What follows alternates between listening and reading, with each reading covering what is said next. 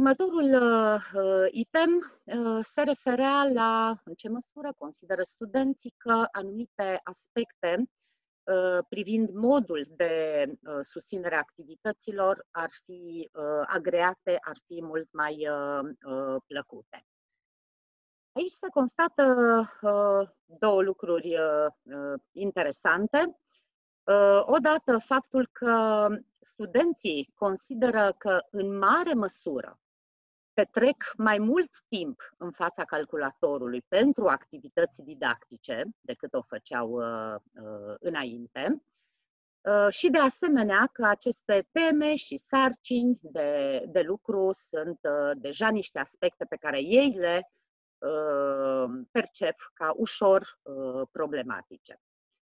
De asemenea, în ceea ce privește instrumentele digitale, platformele puse la dispoziție, pe care studenții le au la dispoziție, sau resursele de învățare pe care cadrele didactice le pun la uh, dispoziție, studenții nu le consideră a fi aspecte uh, problematice. În ceea ce privește percepția situației uh, actuale, am dorit ca prin ultimul item să ieșim puțin uh, din uh, Uh, purul academic și uh, ne-a interesat mai degrabă modul în care ei suportă, modul în care ei răspund la această situație, dacă se informează sau nu, dacă au informații pertinente asupra situației pe care o trăiesc, uh, comportamentele pe care, pe care le au și, în general, starea de spirit.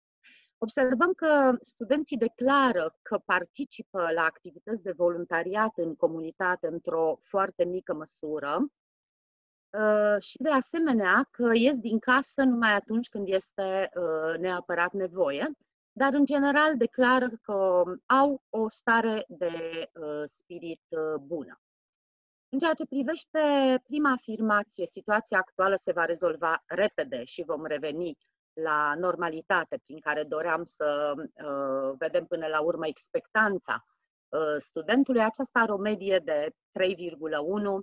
Uh, asta înseamnă că, evident, uh, este o anumită neutralitate în uh, uh, percepția lor. Nu pot cu certitudine să să spună, să aibă o părere, o opinie privind cât de repede se încheie situația actuală și cât de repede se revine la normalitate. Observăm totodată că uh, studenții chestionați urmăresc știrile și sunt conectați la situația pe care o uh, trăiesc într-o măsură uh, relativ mare.